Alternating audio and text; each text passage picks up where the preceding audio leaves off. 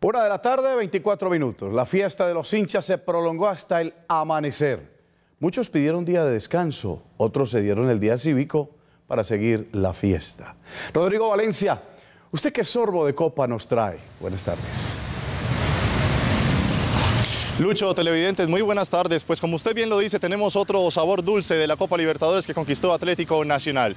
Los festejos se prolongaron hasta la voz del hincha, la original de Hora 13 Noticias, que trae más alegría del festejo verdolaga.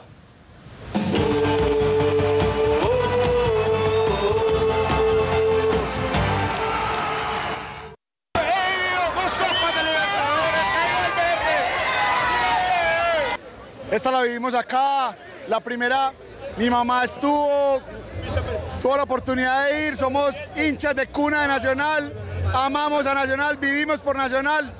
Llevamos ocho días esperando este sueño continental. Fuimos a Quito y ahora estamos en el Coloso de la 74 celebrando este sueño continental. Y ya lo ves, somos campeones otra vez. Sí, véalo, véalo. No, hace, hace 20 minutos lo coloqué. Cuando terminamos, cuando el árbitro pitó, se acabó el partido, cogí el escudito y lo pegué. Ya somos campeones. Esto es lo máximo, ¿eh?